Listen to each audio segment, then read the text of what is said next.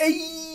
Yo, what's going up, guys? It's your boy Eh!Bit. You can just call me Josh from now on because this isn't going to be a gameplay channel. This isn't going to be a channel where you come and watch me be goofy. But we are going to be kind of acting goofy like probably 99% of the time. I'm trying to do this more like a, a Game Informer type thing, not specifically like Game Informer yeah, it's it's like Game Informer. What we're going to be doing is we're going to be trying to bring you guys the top 10 news that happened during the week uh, within video games and the industry. Let's just let's just drop the chit chat. Uh, let's just get right into it. And you know what? I'll give you guys more news and info at the end of the video if you decide to stick around. So you know what? Boom, let's just keep going. So coming in at number one, game studio Hello Games, who is uh, developing one of the hottest games to release this summer of 2016, uh, No Man's Sky. I'm sure some of you guys have heard of it. Um, that game was actually officially announced that it was going to be delayed to some time in August. And that is uh, fairly unfortunate, seeing as this game is boasting, you know, infinite universes. Computers can't do infinite universes. You know, it's like 8, 8 billion or something like that. Anyways, it's pretty close to infinite universes, which lets the players pretty much explore, find, and discover in a total plethora uh, of things to do. Now, I know what you're thinking. Do I even know what plethora means? Would you say I have a plethora of piñatas? A what? A plethora course I know what plethora means. If anyone who's ever seen Three Amigos with Chevy Chase, Martin Short, and Steve Martin, everyone knows what plethora means. After that announcement was made public, uh, just as I expected, the online community was very mature, uh, which brought on a very understanding response from a few choice fans. Death threats.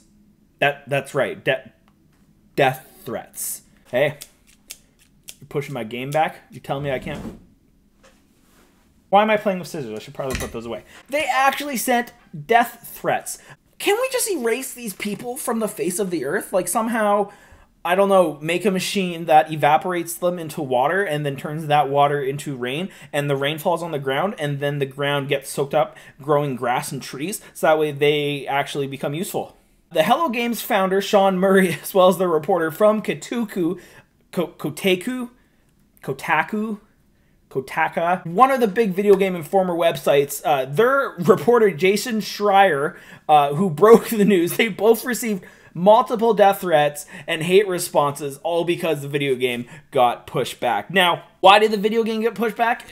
I mean, E3 is right around the corner. Maybe they had some footage that they wanted to do there. Maybe, um, maybe they just wanted to implement better development into the game. Point is, what like humanity is just scaring me. People need to chill okay? Just because the game got pushed from development and you're not going to be able to play it you know right away or sooner than expected it doesn't mean you got to go threaten somebody's life. Let's take a look and, and let, us pull it up here. Uh, jason schreier or schreier however however you jason i don't hate me. I'm very, very sorry. He even took off to Twitter and put in what it's like to write about video games on the internet. And he posted a screenshot of the response from one of the people uh, named at Beach Clashers MDR. So you guys want to go and actually like send that person?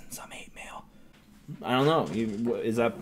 I, I would think that's better than a death threat. Point is, this it's ridiculous. It's utterly ridiculous. I feel totally bad for these guys and the fact that this is happening. Let's just give No Man's Sky our utmost support and just and just see what happens and let's let's go from there because this is utterly ridiculous. Coming in at number two, I'm sure some of you guys have heard of Surgeon Simulator. It's a place for those who who never went to med school or possibly failed med school. Now they have the chance to to prove that they have what what it what it takes. But hey, if you haven't played it, you should give it a try. And what better time to get it than now? What with the anniversary edition, which has updated graphics, environments, and additional achievements, etc., etc. But that is not the best part. This version has Donald Trump implemented into it. Donald Trump has been updated as a new patient, essentially letting users either give him a, a, heart of gold or a heart of stone. Now, if you actually go to their website, link will be in the description, by the way. If you go to their website, there's a live feed to show how many people have given him, successfully given him, a heart of stone or a heart of gold. And spoiler alert, stone is winning definitely go pick up Surgeon Simulator. It's very, very popular. It's one of those kind of laws against gravity type video games which have become very popular. Uh, I know Markiplier has been covering them, and if you look at Rooster Teeth, they've done tons of coverage, and I mean They've, they've probably spent more hours on that game than than humanly thought possible. The one thing that I'm a little bit concerned about is how long can this go on until Donald Trump decides to sue the game developers? Point is, Donald Trump seems like one of those people where he can't laugh at himself or or laugh at the fact that people like cutting into him in a video game. Enough of that. you know, number three, uh, I had to talk about Rocket League. Uh, Rocket League is probably one of the most successful indie games that has hit next gen and PC in the past year. It was only released about 11 months ago, and they have seen tremendous growth. And when I say that, I mean literally tremendous growth. In a recent interview with Forbes, the team at Psyonix Psyonix. Oh my goodness, man. I'm really butchering people's names today. They actually announced that they uh, were able to sell 5 million copies uh, as well as 5 million DLC. That's amazing because they actually gave away uh, a ton of free copies on PlayStation 4 when they first launched. For PlayStation Plus users, they were able to pick up the game for free. So the fact that they've sold 5 million copies plus 5 million DLC and that's not including those free giveaways everyone has bought at least one one DLC package. Point is it's super fun. Who would have thought that cars playing soccer would be successful? Uh, I, I didn't I I didn't think it was it was possible but these guys have proved me wrong. Uh, the company has uh, made roughly about 110 million dollars on a 2 million dollar production budget. That is mind blowing that is uh, amazing. Coming in at number four, Minecraft is selling 53 million copies a day.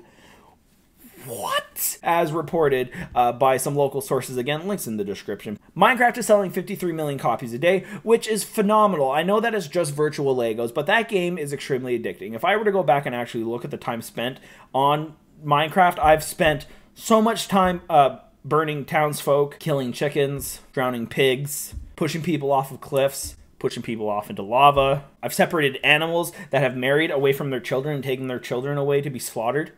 I even actually once built a thing that shot fireworks, and when it shot fireworks, I had another thing that would shoot cows, and the cows would get shot into the fireworks. No, nothing happened, or at least not not not the thing I wanted to. Kudos out to them. Obviously, they're, they're doing something right. 53 million copies a day. That's that's crazy. Oh, did I say 53 million that whole time? I apologize. I meant to say 53,000. Man, think about that. 53,000 copies a day. That's like it's a lot of money. That's that's enough said. It's just a lot of money. They're doing really really well for themselves. All right, guys, coming in at number five, I could not make a video without talking about Call of Duty. I am a semi-pro, or not semi-pro, but I'm a semi-semi-pro COD player. Anyways, I've done tons of online tournaments. I've actually gone to physical tournaments with an open bracket, finishing within top 30, stuff like that. So I, I had to talk about Call of Duty, and it, and no, we're not going to be talking about Battlefield 1, or we're not going to be talking about Call of Duty Infinite Warfare and how it's the most disliked video next to Justin Bieber. No, no. What we're going to be talking about is that the fact that the giant DLC is now coming onto next gen platforms. Uh, I think it might even be coming to PS3. But uh, a recent article up on Charlie Intel with an announcement from Activision showing that the giant DLC, which previously was only attainable if you got either the season pass or if you got, excuse me, one of the special editions. Now, why is this newsworthy? It's causing a little bit of a debate I mean, no surprise there. Call of Duty has kind of been the the gong show of the video game community lately. It's not really a game that you take seriously anymore, but there's still tons of players, guys. So we got to talk about it. There's a little bit of an upcry of the fact that oh, I have to pay for the giant now, but I already bought the season pass. Like, what the heck? Why didn't you guys, you know, blah, blah, blah, blah. Listen, point is, Activision's a business, and this is what they're doing. Their cycle was to try to uh, force season pass sales. They were trying to get those special editions out they were trying to do a lot of crazy things. Again, they're a business, guys. They, you know, as, as much as it pains me to say this, they're a business. They're out there to make money. So it's actually smart business and marketing on their side if they said, hey, let's offer this as an incentive. Let's push some sales on our season pass. Let's push some sales on our special editions. And here they are actually, um, you know, now saying we can make more money off of this. Now, I wouldn't be complaining. I love the Giant. I love Der It's probably one of my favorite zombie maps of all time. And I'm actually looking forward to them actually releasing this publicly for anyone to buy because that just means more players. When I go into zombies, I go in there to play with people generally my age. I don't go in there to play with squeakers. So, hey, you know what? If they're going to be doing this to sell more uh, copies of something that's already made and make money, awesome. I'm totally fine with that because it just means I get to play with more people. So, I wouldn't worry too much about it.